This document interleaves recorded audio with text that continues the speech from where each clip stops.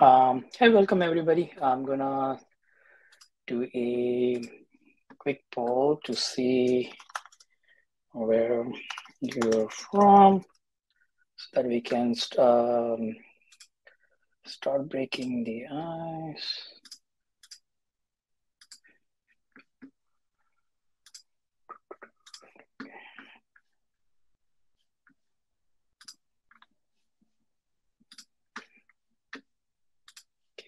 Chat. Right. Um, uh, welcome everybody. Good morning, good evening, good afternoon, whichever part of the world you're listening for, uh, from. And um, I have um, announcement. Okay. Um, about 30, 35 minutes. I can go over a bit after that. Um, I have a hard stop at 11.15, which is my local time. And um, the way I want to spend the 30 minutes is start with a presentation that's uh, five ten minutes, uh, kind of like uh, walk you through uh, what, uh, what does it mean for a PM jobs in ML and AI space. And then probably open up uh, the floor for, for Q&A discussion if there are any questions. So I'm gonna start sharing my screen.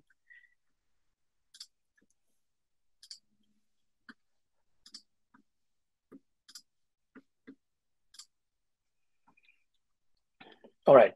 Um, so uh, I'm get, I can see my own screen that I'm sharing. So just want to make sure that if uh, uh, others are also can see the screen. If um, okay, cool.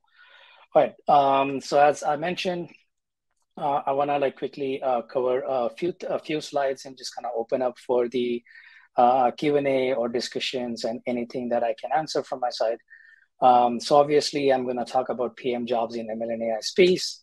Um, a quick thing about uh, myself. Uh, so my name is Kapil, pronouns he, his.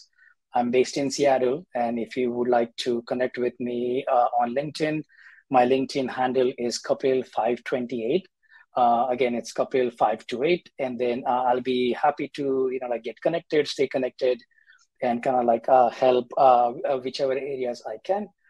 And um, uh, the uh, I have pretty simple mantra to kind of like uh, spend most of my work days, including also weekends, is uh, products. Like I'm very passionate about how uh, product uh, products work, like how they make our life better or how they solve our pain points.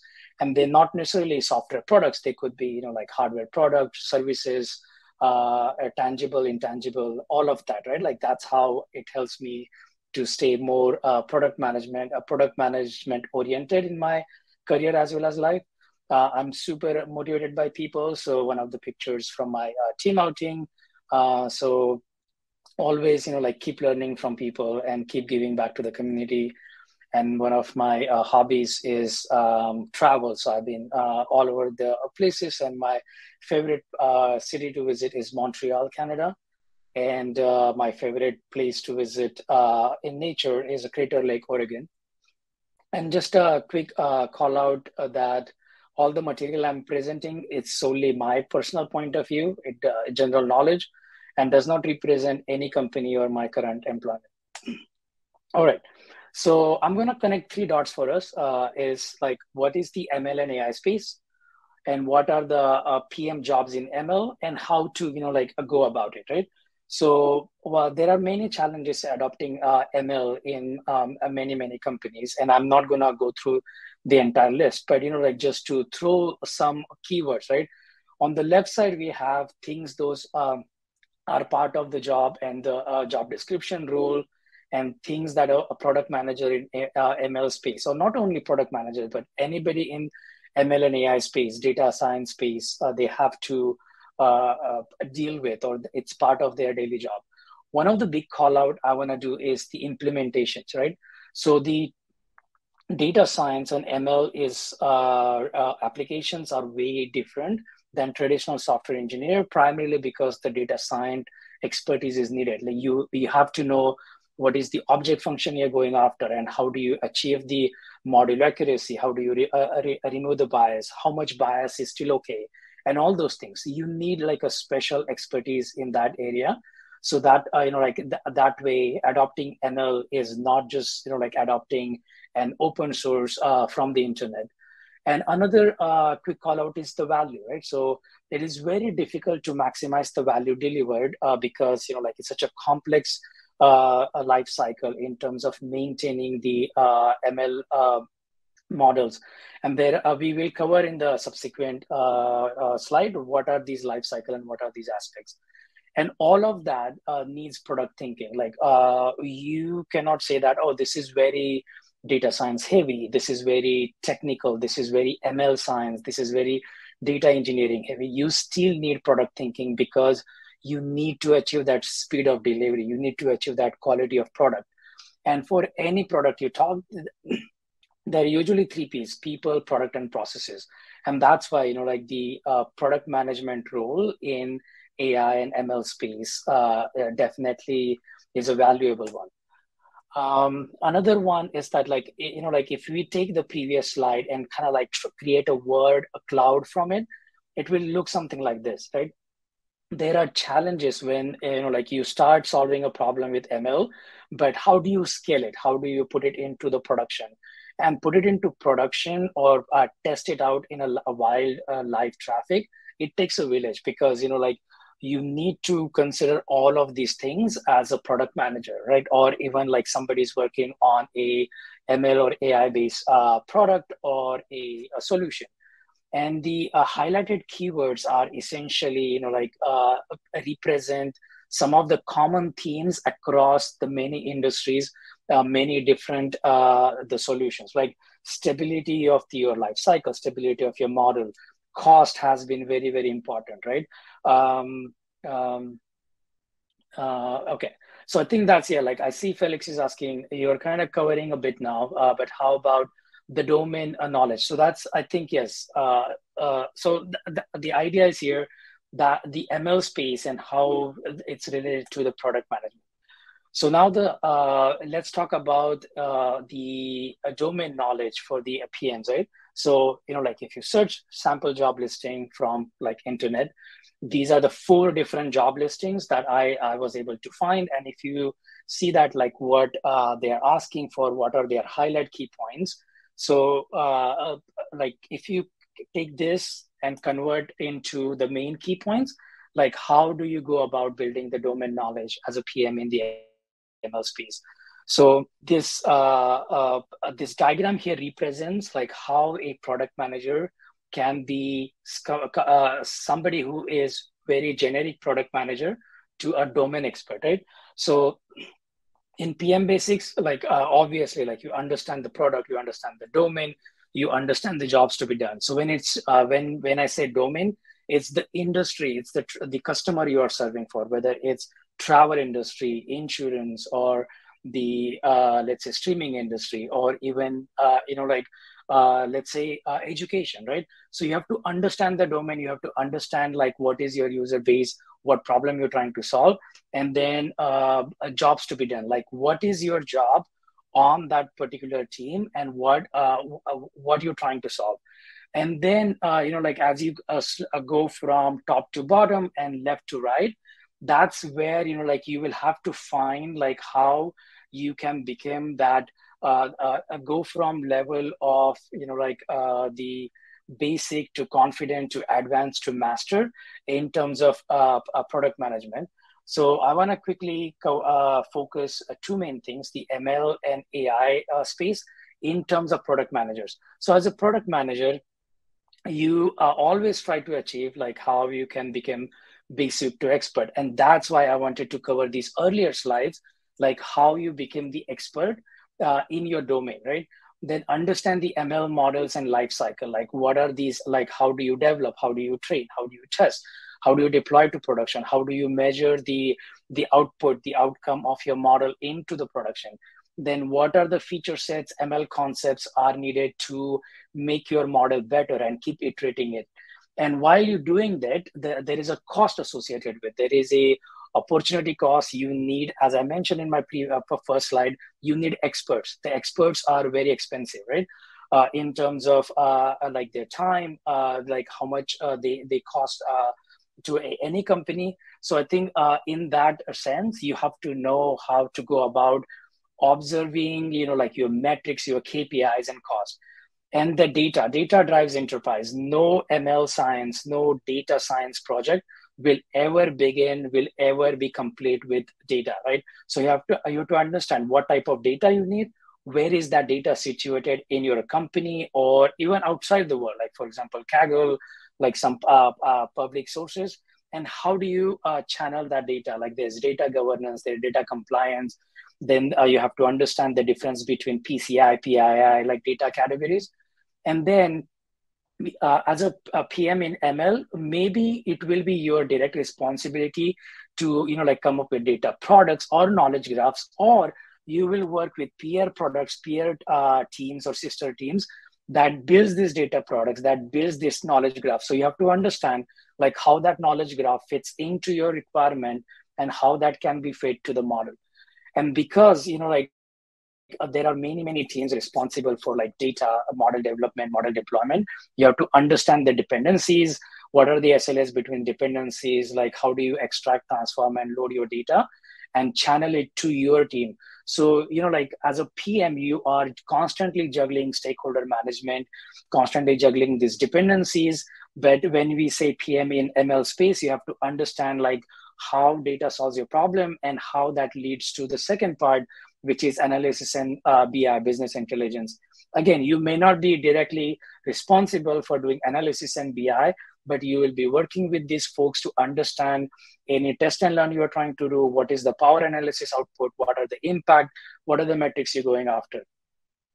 So that's you know like how the the, the product management and the ML space are uh, intertwined with each other the last one uh, I wanted to cover is like how to go uh, about preparing, uh, uh you know, like if you are in the process of going through a, uh, a, job in PML and space, or you are trying to switch the domain, you're trying to switch the job, then this is where, you know, like uh, just like a, a quick guide uh, do your research uh, uh, like about the job description. Job description tells a lot about these slides we covered right? So for example these job description like what is the expected out of you as a, a pm whether it's a domain expert or a, a generalized uh, product management like and all those things right? So understand that from your uh, job description. Do some research from social networks such as you know like linkedin and other ones so that you know like you understand uh, like what what is the uh, uh, social space about that uh, problem. Who are these people? Like can you try to see their uh, profile like where they come from and all those things. If you can find an internal connection working in the company that's you know like uh, a, a amazing resource to find out more information about the company the uh, again the people company and then tune your resume based on what you find. Uh, it's not about like hide and show certain things but just basically how do you uh, you know like strengthen your resume in the direction of what you find about the job description?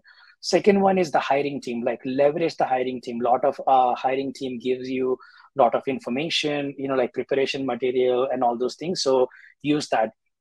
Use the screening call with the hiring manager. As the uh, medium to find more about the job like why uh, what you'll be doing. And many, many times, hiring manager are super, super helpful because they genuinely want to help you. So, like, uh, use that uh, connection and use that uh, screening call, uh, uh, gaining more information about the role.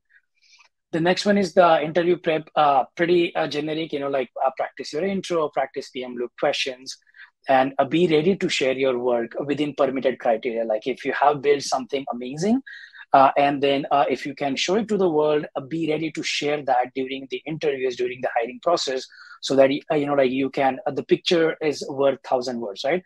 So uh, that's the idea behind it. And ask questions, like many, many questions. More questions you ask, better you get understanding about the role. And just want to do a quick cap here with my presentation. Is the cards in your sleeve?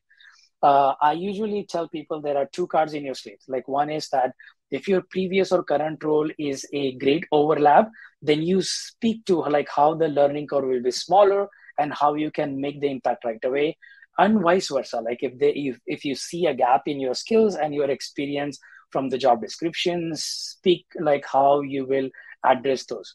Uh, so that's you know like uh, I had uh, in my uh, presentation I'm uh, I'm gonna uh, I'll try to answer the question as much as possible, but let me see if I can open up this for uh, you know like a, a, forum, and then we can talk, uh, take some of these questions.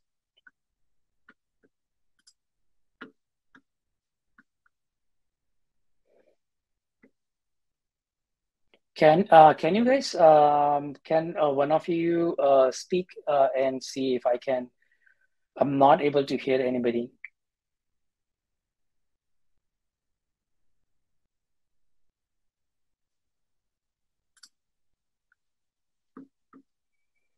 Okay, moderation.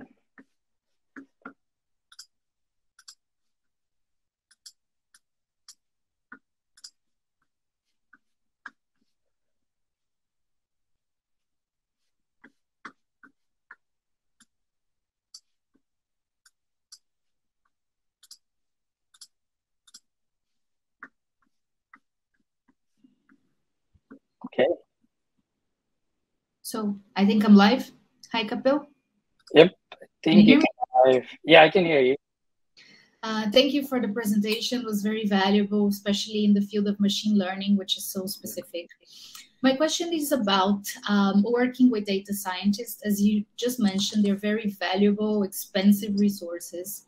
But at the same time, like a good, proper model deserves a lot of data cleaning and data yeah. cleaning can take like really long or so how do you define like this deadline to say guys enough is enough. We got to deliver. Let's run the model as it is. Or it's better to take longer to sharpen and have a better precision accuracy um, as a, response to the predictions. Yeah. So how do you uh, balance yeah. That's a great question uh, uh, juliana am i saying your name right Juliana, actually. Juliana. Okay, cool. Yeah, uh, Juliana. Yeah, that's a great question. I think the answer uh, to some extent depends. So, for example, uh, as a product manager, you want to test as early as possible so that you can find out whether you are right, uh, on right path or not, mm-hmm. so that you can course correct very very quickly. At the same time, you you know like you might uh, the stakeholder and your user or you yourself might get discouraged from a very a mediocre output of the model, which is paid on smaller data and cold start problem. So you have to find what is your story, like how you're gonna break that story to your leadership, your team, and your stakeholders saying that, hey, like this is the north star, this is where trying to go, and if you walk backward, step one, phase one, limited data, it just to try out and find the signal. And if that story sticks, then you like you can go to like try uh, try things out. If not, then you have to like you know like push uh, usually there is time resources and scope right? So you have to always balance that equation. So come up with your story find out what it, what are you after. And if you know there is already signal you're on right track and you need more time then you have to you know like work on your story to push back and get that data. And that's one of the things i like pm in ml and ai space that it's such an amazing space to problem to solve. But as a product manager how do we tell story? How do we connect stakeholder who are less technical? How do we interpret the model output? I think that's the key. And you have to choose like what is your circumstances and based on that either you you know like roll forward with limited data or you push back with your story saying that these are the reasons we're going to push back. Great great response. Like really I forgot to consider the stakeholder is the definition of how accurate you want. It's really going to depend on, on the problem. Super thanks. I appreciate it. Yep. Thank you.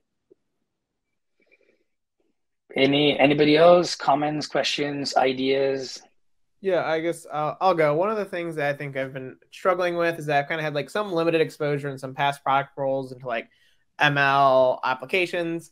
Um, but I think to me, like the biggest gap I've seen, and maybe like the maturity of the company was there is like, um, like knowing more about like deployment, like model deployment and lifecycle management. Like I feel like that's an area I don't have a lot of experience with, like understanding like precision recall and like model performance.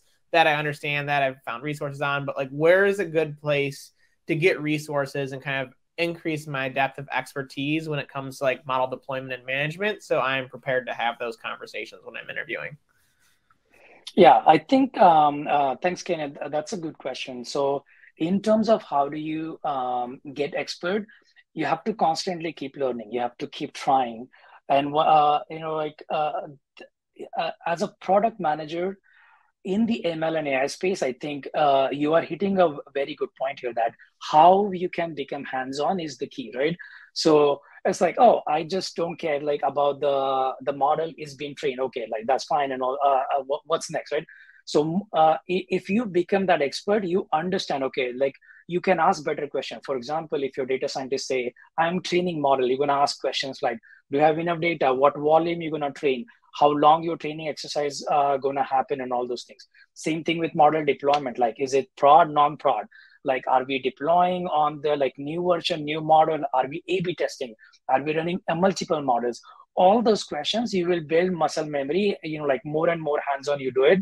Um, i'm happy to connect with you like on linkedin or, or, like my email address is like me at my first name last name.com which is me at kapilgangane.com you know like uh, i can chat i can you know like share all the slides i've uh, created in that area so that you know like we can uh, get going. It, it will be tough to you know like give you very specific focus answer within like a few seconds. So happy to chat more and like how i can you know like uh, get you more involved into learning these things. Thanks. I really appreciate that. Yeah.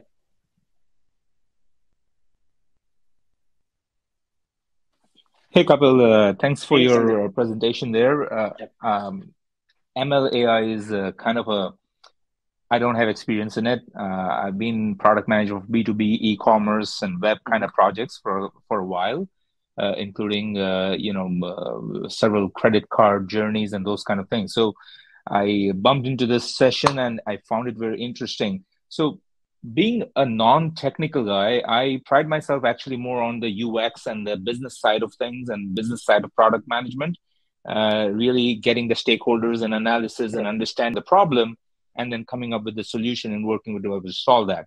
So if I was uh, curious enough for this ML AI, um, and I'm kind of shying away from it, thinking it's way too technical and it's too much.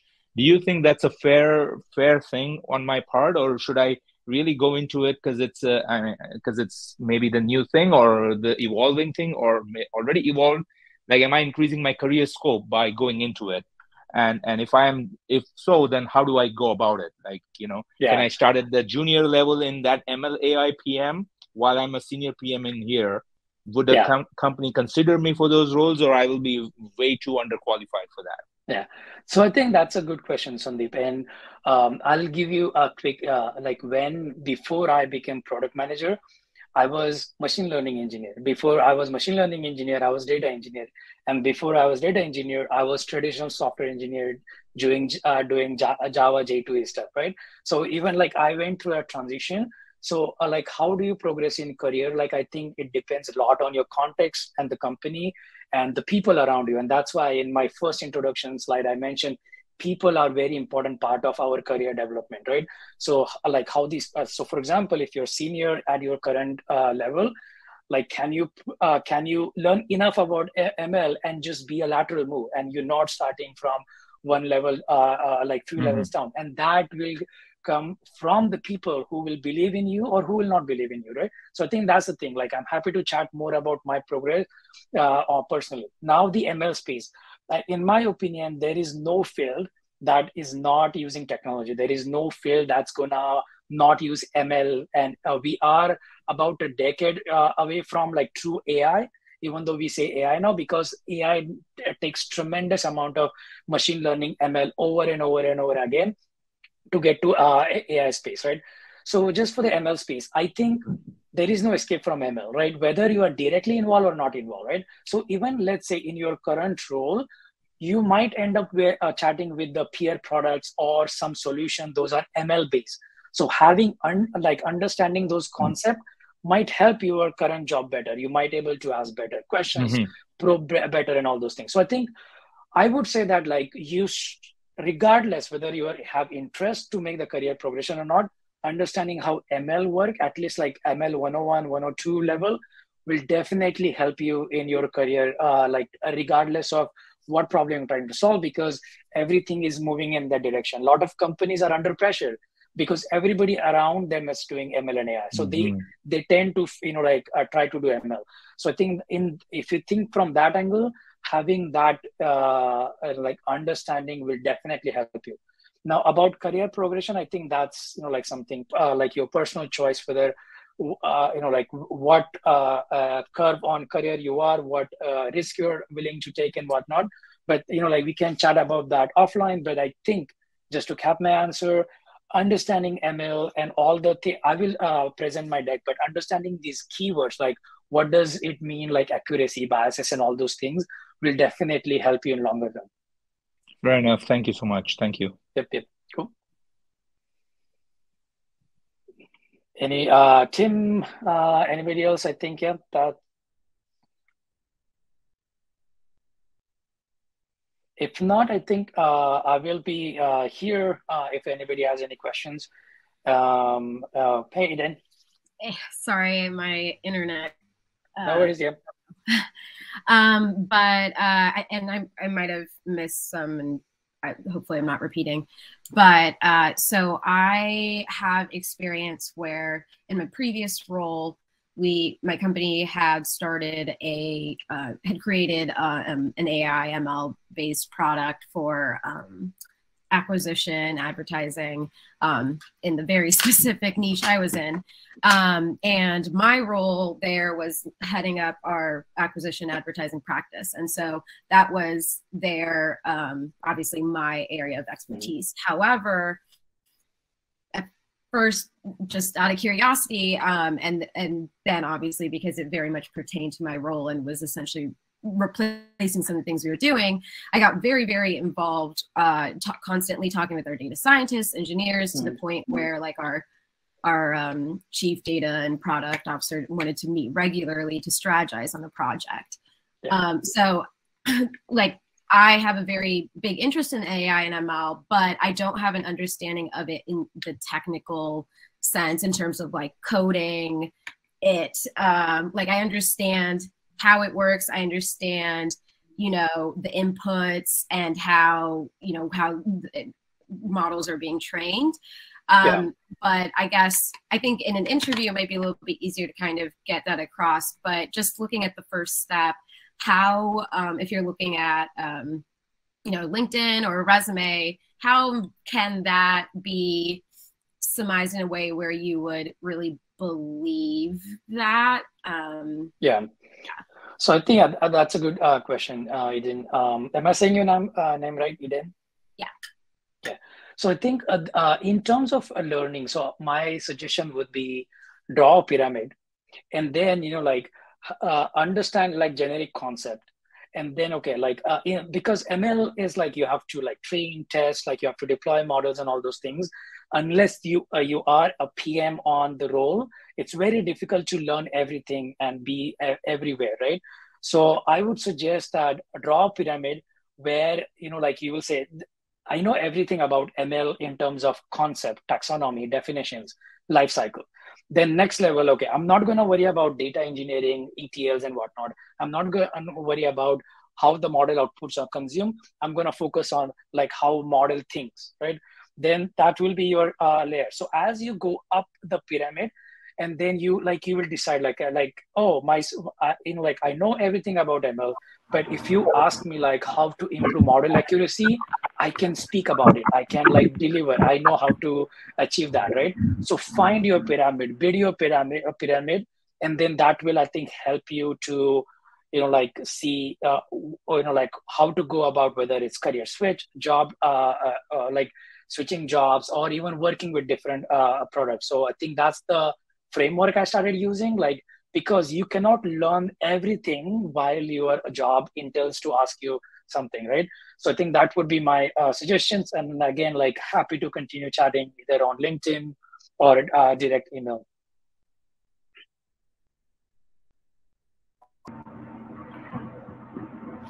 Hey, Kanupriya. So, thank you so much for your time. So I'm looking for a product management opportunity so if your team or anyone you know is hiring? It, it sounds really straightforward, I know, but I don't want to waste time in the short talk. Yeah. So small talk, what should I should ask? Yeah, I mean, like uh, there are companies hiring. So I, I saw people, po- somebody posted uh, uh, Airtable, uh, what do you call a chart, what companies are hiring. Uh, as far as like uh, my current company, like I'm uh, not on the hiring team as well as I don't know anybody is, but you know, like I'm more than happy to connect you with the the my social connection who I know are hiring, and then you know, like we can take it from there. Yeah, I see. Like I see the yeah, the exactly same what uh, Katya posted on the chat. Like that's the Airtable uh, link I was mentioning. So uh, can I have your email address? Yeah, it's me me at kapilgangane.com. Huh? I'm sorry. I'll type it in the chat.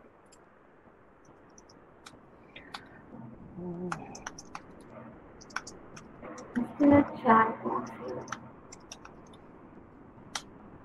Okay. Hey, Snail. There's there's no chat box on my side. Oh, so, uh, it's uh, I can I can spell it out. It's me M E at M. I'm sorry. M E like. Can, you hear me? Slowly? Yeah, I can hear M, you. M, M, M as in Mary, E as in Edward. Okay. At K A P P as in Peter L Gangane G A N G A N E dot com. K A P L K A P I L G A N G A N E dot com. G A N G A N dot com. Yeah. And also, like, uh, uh, uh, Katya posted my LinkedIn uh, profile. So if you uh, connect me there, I can also share the, some of the resources. Okay, so it must be on the initial pages. Yeah. Okay. Thank you. Hey, Snail. Yep. Hi. Good luck, Kanupriya. Yep. Hi, it was nice listening to you today. Um, thank you so much for that. I'm actually uh, not so much into MI or uh, ML or AI, but uh, I wanted to ask you a few things about just breaking into product management. Mm-hmm. So, um, right now, I mean, I'm in my last semester. Uh, I will be graduating in December, so I would be. Uh, so I'm applying for jobs starting uh, Jan 2023, and one question I want to ask is now, uh, I've read a lot of things and um, job descriptions where they required a lot of technical knowledge for product managers, but it's not possible to have all the knowledge. So it's really overwhelming for me in terms of preparing because I have had no prior experience, like work experience. So I'm. It just feels like I'm trying to learn everything just because it's expected. But what actual technical skills are really required while working um, in that role? Yeah, I think uh, I don't know at what point you uh, joined the conversation, but my last slide uh, where I mentioned about the uh, preparation guide, I can share the uh, deck with you. But in I think like the first uh, square, right? When you do research about job, like try to find the keywords from the job description, and usually those job descriptions, it's like a ask you a lot, and then try to create a heat map, like of those keywords what is the primary role uh, they are looking for? What will, what will be your responsibility? And then if you see that oh like do you check like all of them or most of them boxes? That could be way to go about it. And then you know like one of the cards in your sleeves could be like you know like whatever you've done so far if it overlaps try to exploit that saying that hey i can deliver this. I've done it. Be confident about it if you see the gap either like basically speak saying that hey like this is my plan to you know like fill those gaps in or you proactively start you know like working on those like uh, uh, product school is a, a, great option but you can also do like the uh, uh, other learning sessions. You can also start doing something hands-on like uh, uh, build a product right? They always say right? So that could be one way. And as i was mentioning to eden that draw a pyramid like of the skills that are needed and then like the what you want to be generalized and how we go up to the specialized one right? So as you mentioned that like maybe ml and ai space probably is not your first go to step like you want to just break into the product management right? So like getting those basics down then step step number two like like how do you apply your pm basics to the job like jobs to be done right So if I uh, share my screen again so that uh, we can window this guy, right? So if you see this slide, this slide talks about uh, the initial first one is PM basics. Like it has nothing to do with ML and AI. It's about product management. In a frictionless world, product managers don't have job. Our job and responsibility is to either eliminate or reduce that friction. And that's what covers in a basic uh, uh, PM, right? Understanding job, understanding jo- domain, jobs to be done. And then, you know, like you, you, you will never pro- probably, uh, if you want to, uh, don't want to work in ML and AI directly, that's fine because you are uh, probably you're uh, you're uh, leaning towards other areas of product management but you will be you know like crossing path with different aspects of ml and ai then like how do you stay on the basic side but understand basic so this grid here is you know like starts from how from a generalize all the way to how you become specialized uh, understanding ml and uh, data so i think that would be strategy i would apply like understand uh, the the job, the role, do your homework, uh, like make your help your connections, uh, use your connection to help you understand more. And I think uh, based on that, uh, you know, like you will start breaking more into it. Again, happy to touch base uh, offline and walk you through like the process that worked for me. Okay, yeah, yeah, that sounds great. Thank you so much for yep. that. Anybody else? Hi. Can I ask a quick question? Yep. Hi. Thanks for uh, taking the time to um, share your insights. Um, I I have a similar question to an earlier question from Sandeep. Uh, um, basically, I am trying to transition into a PM role from a non-technical background, and I'm curious from a hiring uh, team perspective whether I'll be seen as more competitive in applying to a uh, associate product manager role or any entry level role versus trying to work on those pyramid and try to apply to a more senior level roles? What would, would be a better strategy, especially in terms of this recent uh, layoffs from all these tech companies yep, and yep. Uh, the technical PMs coming in? Yeah, so I think that's a good question. I uh, so my um, there is no easy or straightforward answer, but this is my personal point of view that the job interviews treat them as a two-way uh, uh, street right so it's like they are asking questions but you are also you know like evaluating them whether this is the right role for me this is the right team for me like whether this is the right setup for me.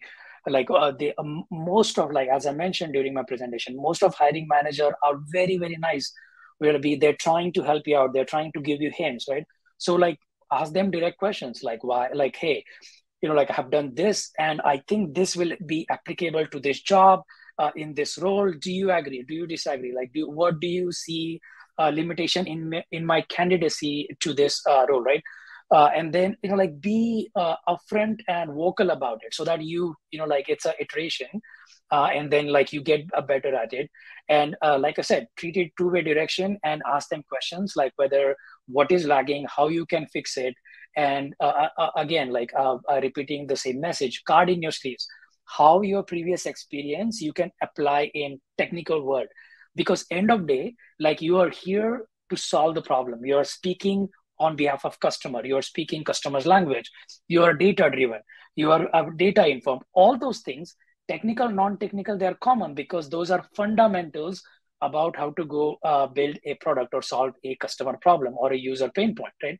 So i think like draw those commonalities and use them as your strength and then add your uh, bits like your your personality you know like your energy like uh, all, all the things you can bring in from non-technical world still applicable or add on to the technical side.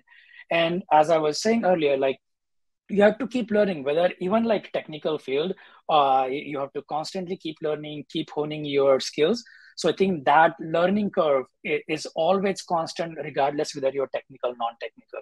So those are the key things. You know, like uh, again, like uh, happy to chat more.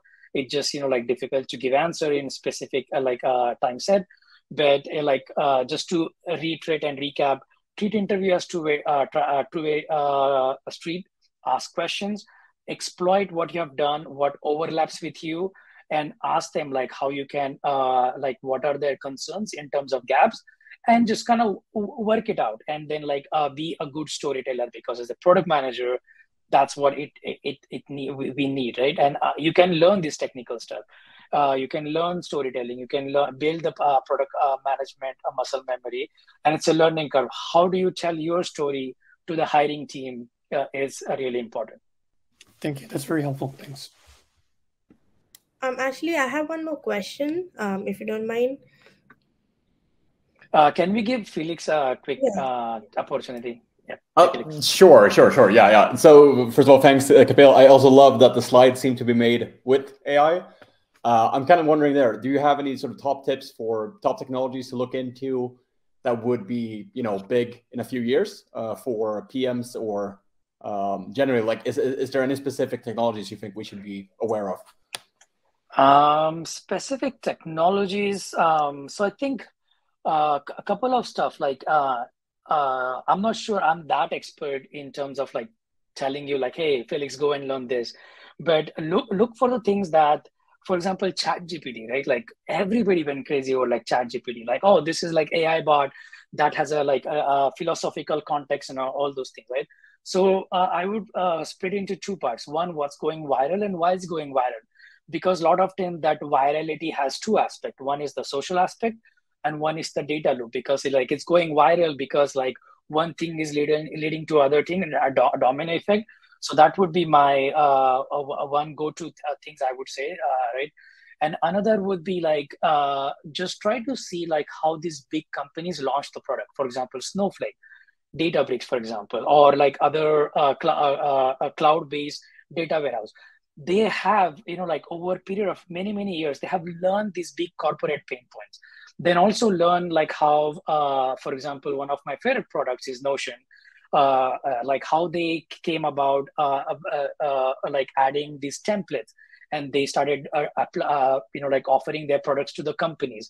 And then what is the like basically dismantle a product that will tell you the problem and the direction they're trying to go. And then once you have that try to see what are other competition. Then that will give you the direction of the companies are trying to go. And then they are likely will use the common set of technology whether it's a set of cloud technology such as aws azure cloud uh, things like that or you know like uh, the tools like uh, databricks kubeflow and whatnot or you know like spark and tensorflow. So i think that you you have to basically draw a venn diagram and see what direction they are going and try to pick interest uh, i just try to be ge- generalized uh, in terms of what i learned just like everywhere because that helps me at least break the ice and learn more. Uh, I don't have a specific vertical domain. I try to, you know, like focus on. I just try to uh, stay horizontal as much as possible. Thanks. Great answer. Snell, uh, back to you, and then I think uh, we'll uh, cap. Yeah. So, um, quick question. Um, while applying for associate also because I've been applying to these kind of roles since past few months now, uh, I keep track of uh, like all the applicants that are applying alongside. And um, on the LinkedIn, you can actually find like uh, senior how many senior level applicants are there for this position. So I find it really frustrating that even for associate level positions, a lot of senior level people are applying. So how is it fair to us who are um, just entering the market or you know uh, for whom the position is actually uh, been there? So uh, one question for you would be. Um, do they um, so the hiring manager or recruiter do they also take in consideration the senior level applicants uh, because they're applying or because the position is meant for associate level applicants they will just focus on them? Um, um, i i won't be able to talk to um, on behalf of like all the hiring teams and hiring manager. It's just that how they uh, see the role and they probably are just trying to you know like uh, they're trying to get the best candidate from a bigger sample pool. But this is like going back to my uh, answer to tay like treat this as a, a bi-directional uh, uh, the interview or job role as a bi-directional street and ask them questions like hey like this role says xyz and like i'm associate. Do you think like uh, are there any uh, gaps? Or it can be other way around. Like the role might be asking less and you might have more to offer right then play that card saying that oh like yeah like i'm very excited. I like i'm very confident.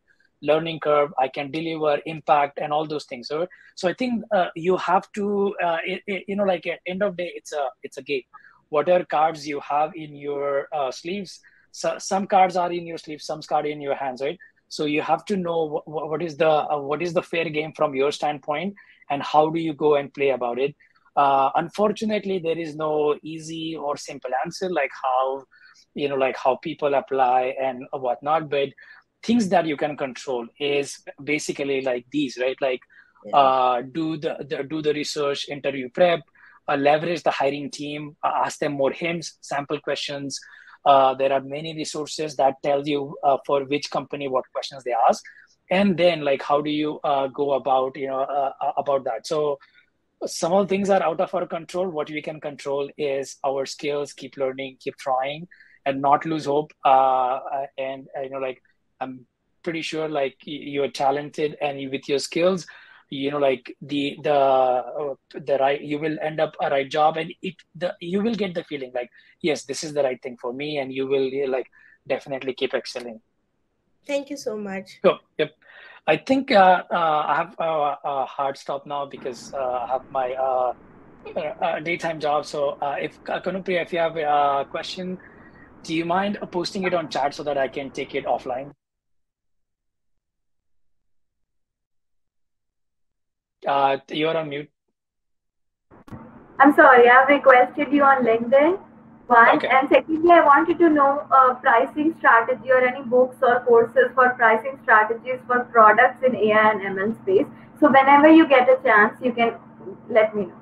Absolutely, yeah. I have a very excellent resource uh, on the topic uh, a podcast, I will send the link as soon as you know, like I get a chance. Uh, it uh, talks exactly the same thing, like uh, AI products and pri- uh, pricing. So I'll definitely, you know, like uh, send that resource to you. Can Can you message over LinkedIn? This chat is not accessible to me. Okay, sounds good. Thank you.